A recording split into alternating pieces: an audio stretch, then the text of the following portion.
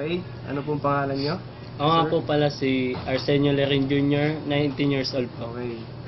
Um, may mga ilang katanungan ako na itatanong sa'yo. Una, anong dahilan kung bakit ka nagtatrabaho? Nung una yung dahilan nung kung ba't ako magtatrabaho kasi dak working student ako, pang fulfill ko sana sa pag-aaral ko. Pero ngayon na yun to, bala ko lang ulit bumalik ng pag-aaral kaya tinuloy ko na yung pagtatrabaho dito po sa McDo. Okay. Napupunan ba ito ng iyong pang-araw-araw na pangangailangan? Opo naman po. Okay. Nakakain ka ba ng tatlong beses sa isang araw? Opo.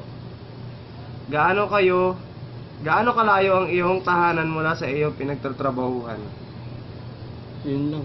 Isang barangay po yung pagitan, bali pangatlong barang pangatlong barangay po ito. Kaya medyo yun mga tatlong sakay po. Apat. Kalima, nagbabaha, nababahagi mo ba ang iyong, nababahagi mo ba ang iyong oras sa iyong sarili at sa mga iba pang bagay? Opo, mamamanage naman. Okay. Kaanim, magkaano ang iyong sinasahod kada kinsenas? Optional. Kadalasan po 4-5 ganun. Po- 4K pataas po.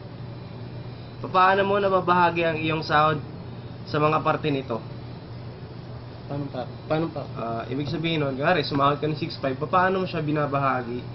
Sa pamilya, sa, sa sarili mo, sa gano'n, sa ibang bagay, Ah. no? Yun, nag-aati kami ni mama.